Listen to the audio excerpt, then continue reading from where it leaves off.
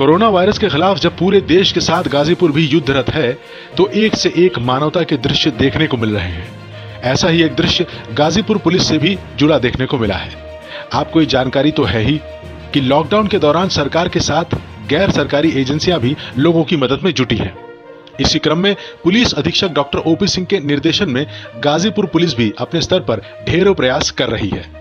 आपने अभी तक डंडा चलाती पुलिस को बहुत देखा होगा, लेकिन दूध बांटती पुलिस आप शायद पहली बार देख रहे होंगे। शनिवार को गोरा बाज़ार चौकी प्रभारी कृपेंद्र प्रताप सिंह द्वारा बच्चों के साथ स्क्रीनिंग कराने आई महिलाओं के बीच दूध का वितरण कराया गया।